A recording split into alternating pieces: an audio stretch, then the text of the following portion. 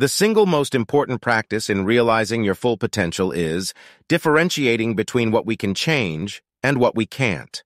Figuring out what we have influence over and what we do not.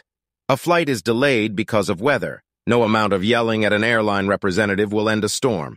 No amount of wishing will make you taller or shorter or born in a different country. No matter how hard you try, you can't make someone like you.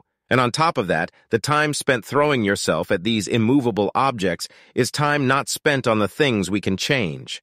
The right way to feel in control is to focus on what you can change within yourself or your environment and start taking small steps in the right direction. If we can focus on making clear what parts of our day are within our control and what parts are not, we will not only be happier, we will have a distinct advantage over other people who fail to realize they are fighting an unwinnable battle.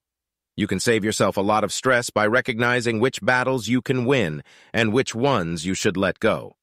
When you take control of everything within your influence and let go of the rest, you'll make your life a whole lot easier.